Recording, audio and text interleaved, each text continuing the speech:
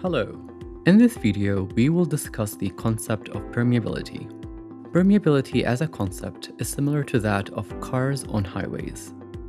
Imagine that there is a highway with only one lane and there are several cars that need to pass through it. The flow of cars will be difficult as there is limited space to pass through it. However, if the number of lanes increases to 5, then the flow will become much easier. In this case, permeability is a measure of the ease with which the cars flow on the highway. Higher permeability means easier flow, which in this case will happen with the 5-lane highway.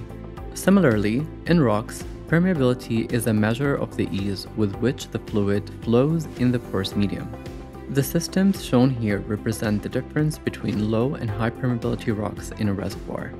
The permeability of a rock measured when it's 100% saturated with a single phase, water, oil, or gas, is often called single phase permeability, absolute permeability, or just permeability.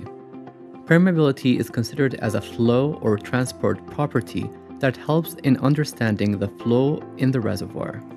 The concept of permeability was first introduced by Henry Darcy in 1856 when he performed an experiment on sand filtrates and analyze the concept of permeability.